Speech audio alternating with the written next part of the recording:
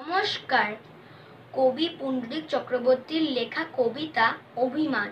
আজকে আমি ফুল হয়েছি, কালকে হব পাখি। ঝুমকো জবার আড়াল থেকে করব ডাকা ডাকি।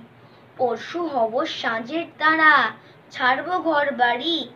চিনতে যদি না পারো গো, দুঃখ পাবো ভারী। তোমরা যদি ভালোবেসে আমায় রাখো মনে সাতটি রঙের রং ছড়াবো দূর আকাশের কোণে। তোমরা যদি আমার কথা সত্যি যাও ভুলে, নদীর বুকে ঢেউটি হয়ে কাঁদবো ফুলে ফুলে। নমস্কার। শুভ নববর্ষ।